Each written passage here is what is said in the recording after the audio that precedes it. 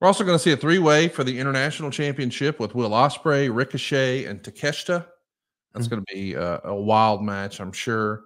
We'll get Shibata versus Jack Perry for the AEW TNT championship.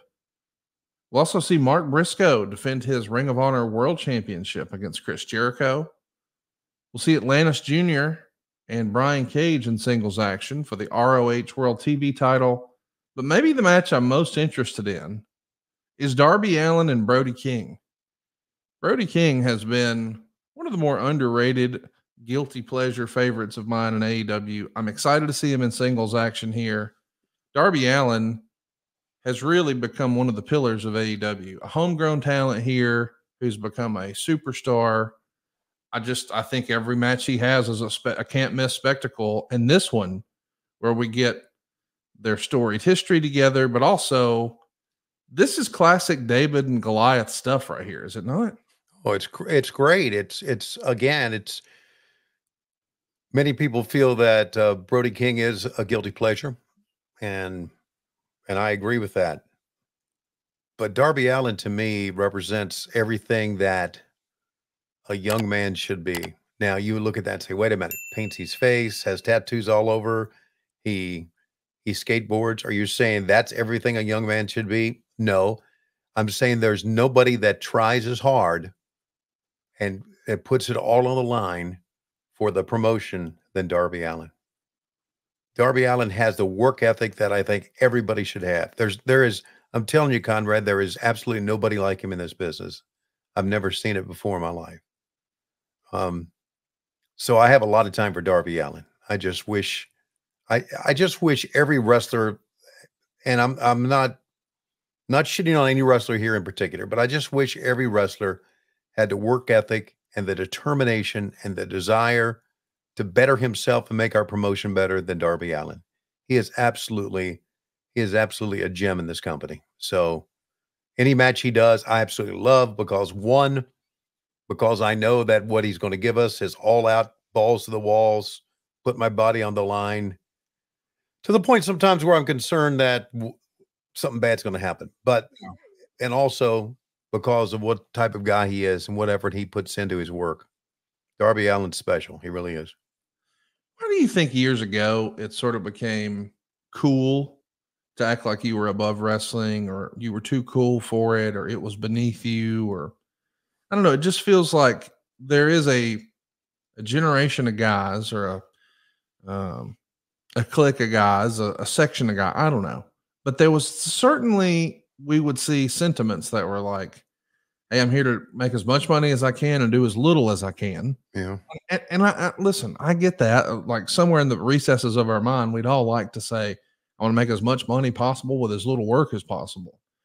But then when you take a look and you see what a guy like Darby Allin's doing, and it's like, man, he understands the art and the performance and the connection with the fans. He's going to pull out all the stops and give his absolute all regardless of how much money he's making or what the outcome is or what have you. It's very Mick Foley like. It's like a love letter to wrestling of sorts, mm-hmm. is it not? Yeah, it is. And if, if you know, you said a word there, click. I think that answered your question. Um, but oh, wait, I, you, oh, you think it was a double? I didn't mean a double entendre. You think I was referring to the Scott Halls, Kevin Nash's, Shawn Michaels? Yeah, right, right, right. Yeah, Oh well, I didn't necessarily mean that. I'm saying like even guys like Hogan, you know, and and and a bunch of the old school talent who would sort of look at what's happening today, and maybe it's just the evolution of the business. I'm not sure, but you know, you also hear old timers sort of take the the younger guys to task about, oh, they script everything in their matches. We used to call it in the ring. The inference being, it's not as good as it used to be.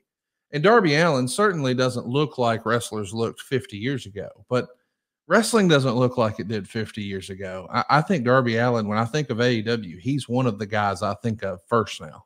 Yeah. He is the guy I think of first. And wow. Yeah, he really is. And that's because my relationship with Darby is different than all the people watching on TV. Sure. And and Darby is just a wonderful kid. Well, I'm fired up about Wrestle Dream. I hope you guys will make plans to join us. There's a handful of tickets on sale now at the Tacoma Dome at AEWTIX.com. And of course, you can enjoy on pay per view. I'm going to be watching on the Triller TV app That's where I enjoy all of my AEW pay per views for now before they're on Max. Tony, before we get going, you know, we've, um, we should talk about last week. you weren't able to record. There was a little shuffling of the deck. Yeah. Your travel circumstance changed. We did our first What Happened When last week without Tony Schiavone. David Hmm. Crockett. How about that for a suitable stand in? Very good, David. Thank you very much. And uh, David is, uh, wow, David's a wonderful guy, isn't he? And some of my greatest memories are with David Crockett, uh, standing side by side and being able to broadcast with him. That's that's great.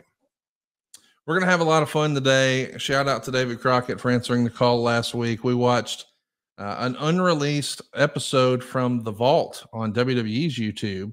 I don't know if you saw this, Tony, but it was from February of 87, an Omni show. They had all but the main event. I guess the the, the main event and perhaps the Road Warrior match were taped to uh, send to Japan hmm uh, for for Japanese television, and of course we know that we got all but the Flair Windham match. Did you see any of that on YouTube yet? I think you dig it. There's no commentary. It's pretty cool. I did not. Was uh, did I? Was I doing the ring announcing? I don't think so. It's Truck and Tom Miller. Oh, and the Omni. Okay. The story behind that was a lot of times when I didn't want to go down and do the Omni, Mm-hmm. I would call Tom. Tom said, "Yeah, I'll go," and Tom would always go. But I pretty much did most of the Omni ring announcing back in the day, and but Tom would sub for me now and then.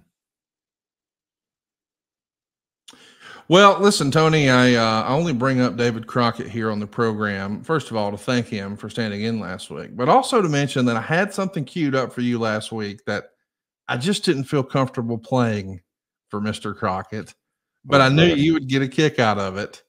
It's about uh, your nightstand. Tony, if I was to go, should I read your home address on the air here or just not do that? You might as well, since you've already done it before, you cocksucker. Okay, let me make sure I got it right. I don't want to. Tony. Okay, if I was to cruise over to Marietta, Georgia, 30062, Th- Stop. you said I could. No, you dumbass. So if you uh, go to my, what's your address for your uh, your lake house? Well, I'm not telling you. Hey, here's, Okay. here- here's where I was getting. If I was to pull up at the Schiavone household unannounced, as I'm Mhm. prone to do, Mm-hmm. and I said, hey, I don't want to do like what they do on MTV Cribs and say, what's in your refrigerator? Yeah. And see if there's like a bottle of Cristal or something. That's lame. Mm-hmm. I want to say, Tony Schiavone, Mm-hmm. what's in your nightstand? In my nightstand? What's in your nightstand? Okay, there is a multi. There is a multi power strip. Okay. There is, are there two drawers. Okay. One has uh, CPAP wipes. Okay. The other one has like some moisturizer Okay. for my hands and my feet before I go to bed. Wow. O- on top of the uh, on top of the um, nightstand is my CPAP machine, Okay. A lamp, All right. and a little stand where you can charge your phone, your watch, Oh, And- you. and your uh, earpods. Can't hide money. Look at you. Hmm. Well, not everybody does that, Tony. And I've actually got a little video to uh, give you some examples, maybe, of what other people have. Jesus.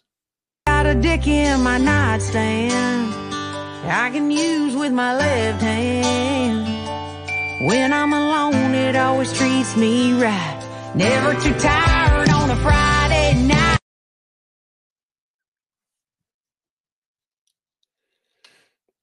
The fucking internet. You want to rack that up again? I got to see it one more time. Got a dick in my nightstand I can use with my left hand. When I'm alone, it always treats me right. Never too tired on a Friday night. Shout out to Shirley Moon. Lord bless her. We got to find her. We got to get her to an AEW show. We got to get her to a What Happened When live. Got a dick in my Dun, nightstand. dun, dun, dun. Dude, is that not one of the funniest fucking things you've ever seen on the That's internet? unbelievable. God, it got all over me.